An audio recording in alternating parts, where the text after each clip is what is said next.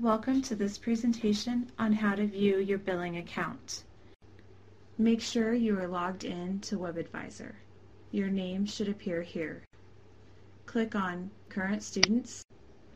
On the Students menu, click on the link Account Summary to view the total amount billed to your account.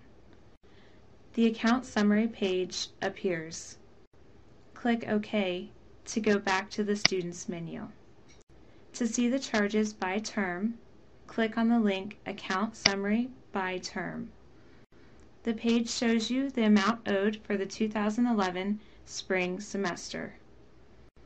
You can make electronic payment from the Students menu page. Here, click on the link Pay on My Account. The Pay on My Account page appears. In the Payment Amount box, enter the amount you wish to pay. Select Payment Type,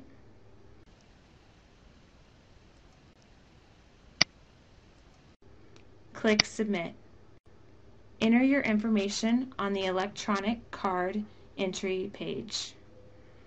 When you are done, click Submit. You are back at the WebAdvisor main menu. Click Log Out in order to protect your personal account information. The system logs you out and reminds you to close your browser. Click OK.